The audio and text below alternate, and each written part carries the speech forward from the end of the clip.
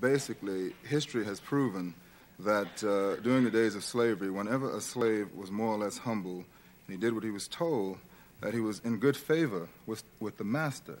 But whenever a slave was too educated, uh, if he became aware of his own self and he wanted to become more than the master wanted him to become, then he was a bad slave. He was then put down because he represented a threat to the already established kind of white. No,